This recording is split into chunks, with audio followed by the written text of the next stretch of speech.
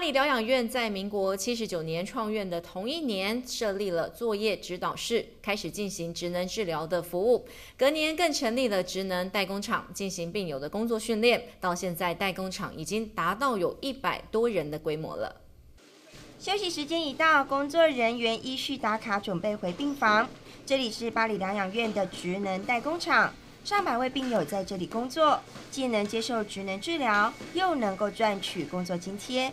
开始的时候，我们在训练的时候，还是以养成他们工作习惯为主。那在他们本身有工作动机跟意愿的时候，那我们就会去鼓励他们，那多做一些其他各种不同的工作。那从一个单步骤的动作开始，那到多步骤，接着下来就是我们能够合作。然后甚至在做操作一些简单的器具，我们是这样训练的一个步骤。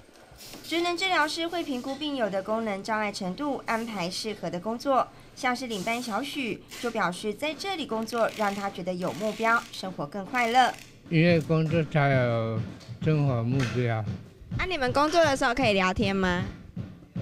也可以啊。所以一边工作跟大家一边聊天，很开心哦。对。会不会想说，哎，之后可以也是去找一些代工的工作？出院以后，是啊，也是这么想。为了让病友有不同的刺激，代工厂的产品五花八门，从隔音耳罩、海绵、雨刷等等都有。呃，我们现在做的东西呢，现在就主要还是像，比如说像是这种，呃，隔音耳罩。那我们除此，我们有塑胶，呃，塑胶射出的一个像这种的是是。喷水头，园艺用的喷水头。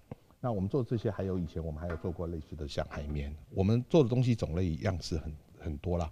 那并没有说并他们特别喜欢做什么东西，而是说我们只要能够给我们做，我们只要愿意给我们这个机会，啊，我们能够接做得下来，我们都愿意去尝试。